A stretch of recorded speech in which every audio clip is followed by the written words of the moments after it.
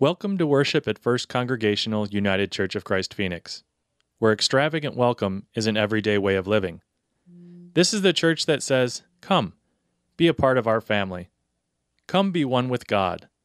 No matter where you've been in life, there is a place for you here. No matter where you are on your journey, here is a place to rest.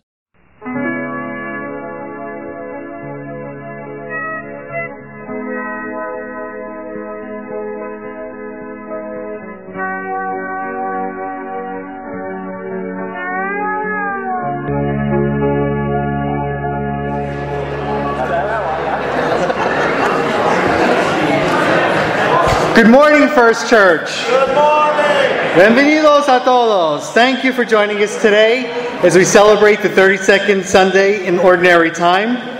I'd also like to welcome all of you who couldn't join us today but are joining us by radio on KPHX 1480 AM. Here at First Congregational Church, we are a faith community following the teachings of Jesus Christ. We believe that God is still speaking, and no matter where you are on life's journey, regardless of your religious heritage, your race, your gender, your sexual orientation, economic status, or any other box society has put you in, please know that you are welcome and accepted here at First Church. We have a gift for anybody who's joining us for the first time, so if you are here for the first time, could you please raise your hand? Okay, nobody new this week. Okay. Um, I would like to invite all of you, though, to join us over in Pilgrim Hall after the service for refreshments and some fellowship. And your order of worship is a green sheet that has all the information of the activities here at church this week. Please take them home with you, and that way you'll be able to stay abreast of what's going on. There are a couple of things I would like to highlight for you today. We'll be having a special, special disaster relief collection for the victims of Hurricane Sandy. Please give generously as you can. And could I get the ushers to hand out the Ritual of Friendship books? Okay, I'd like to ask everybody to sign them and pass them down the aisles. Where are the ushers? They're in already? Oh, okay. Great. So just please sign in and pass them down. And I'd like to wish Marilyn Armand, Robert Howell, and Joan Griner happy birthdays this week. And now I'd like to bring up Sue Bartz, who has some information about the Wilson School for you. Sue, you've changed. No, I haven't. well, you know what time of year it is. Well, yeah, the, the cool weather, the cool weather. And Christmas, very good. Someone was paying attention. It's time for the Wilson School Christmas um, party and festivities. Um, so I just wanted to let you all know that next week, next Sunday, uh, the week before Thanksgiving, we will have our kid letters to, um, you know, the guy. And um, we will be, we have 17 kids this year, which is fewer than we've had in the past. And I know that there's always a big mosh pit of struggle trying to get Christmas letters every year. Um, so I would suggest that for those of you who have done it, you know, every every every year, you might want to think about taking a step back and letting someone else jump up there and get it. But honestly, I think that if it brings you joy every year, that you should get in the mosh pit and elbow your way in and get your Christmas letter if that's what you want to do. Um, but I just, like I say, I wanted to let you know that there'd be 17 kids, but we're doing something a little special this year in addition to our usual holiday party festivities.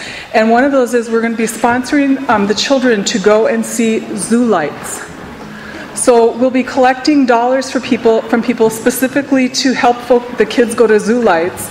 And um, I don't know if you've ever been, but it really is a magical night if you get to go there. So for some kids who've never been before, I think it will be a spectacular evening for them. So um, if anybody has any questions, I'll be over at Pilgrim Hall by the mission table after church. You can come up and talk to me, and I'll give you the wherefores and whats of um, any answer any questions you might have. But we're, we're, we're starting. It's starting up. It's starting.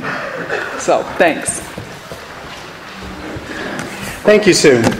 Um, and also, I want to let everybody know today you'll see things a little differently up on the altar. Today is Youth Sunday, and the youth of our congregation and some of their friends will be uh, having a much larger part in the service today.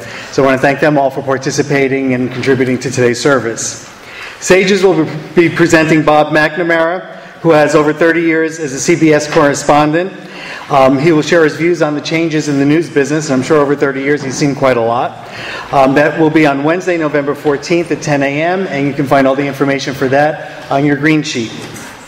Next Sunday is Stewardship Sunday, so we ask that you really give a lot of thought this week and pray a lot on your pledges for the coming year.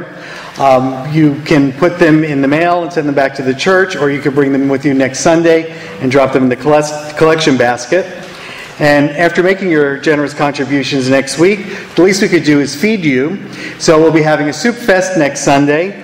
David Zamora and his team will be over in the uh, hall getting uh, people who want to contribute to that. He has a list of what they still need, and we'll have a great soup fest going on next Sunday in Pilgrim Hall following the service.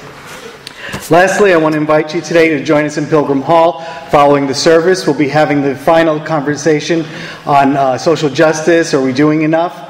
And it's social justice has been a very important part of First Church, and the conversation is part of our visioning process and part of the information that we need gathered for the search for our new pastor. So we'd really like to hear from all of you to see um, how important social justice is to you, any programs you might be interested in, um, things that you might know that we're not doing and would like to, to make us aware of. So please join us in Pilgrim Hall following the service. It'll probably start about uh, 15 minutes after the service. We'll give everybody a chance to get their refreshments. Do we have any other announcements today? Then let us worship God.